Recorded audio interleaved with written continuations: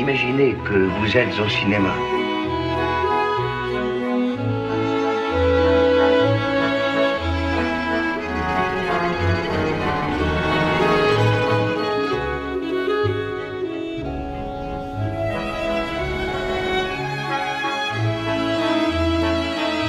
Gabin été indissociable de Renoir, de Duvivier, de Prévert, qui à l'époque ont imposé des personnages qui n'étaient pas courants. Vraiment, j'ai l'impression de voir un autre type de cinéma. Je sens qu'il y a quelque chose d'extraordinairement français.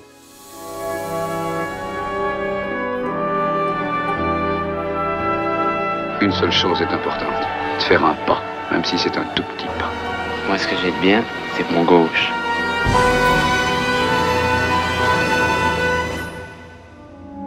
Des cinéastes qui croient que le cinéma peut faire bouger un peu les choses, qui croient, comme me le disait Renoir, qu'il faut faire un film en se disant on va arriver à faire changer le cours de l'histoire et en même temps il faut avoir l'humilité de penser que si on touche deux personnes, on aura réussi quelque chose d'extraordinaire.